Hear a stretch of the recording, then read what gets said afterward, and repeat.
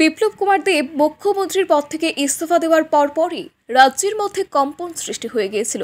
বিরোধীরা এই ঘটনাকে এমনভাবে ছড়িয়ে দেয় যে বিপ্লব কুমার দেবকে এই করা হয়েছে, সেই করা হয়েছে। আরও কত কি?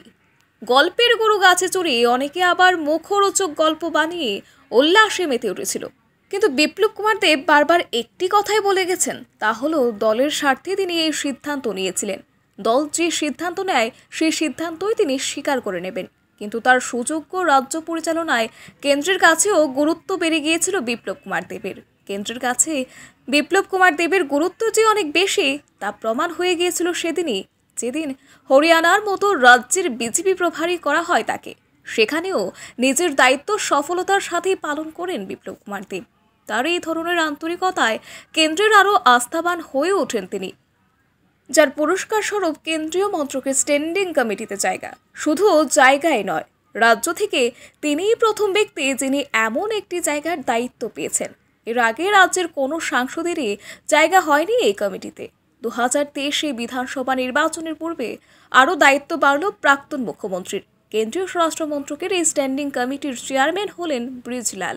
এই কমিটিতে রাজ্যসভা সাংসদ হিসেবে অন্যান্যরা যারা রয়েছেন, তারা হলেন Sujit Kumar, doctor Anil Jain Derek O'Brien, Neeraj Shekhar, P Bhattacharya ও রাকেশ সিনহা।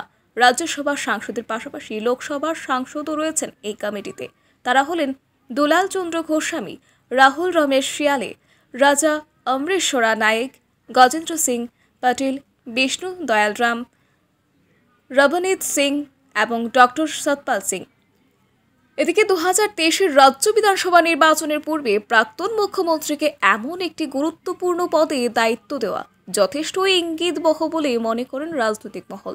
তবে নিন্দুকেরা এই ব্যাপারে একেবারেই নীরব।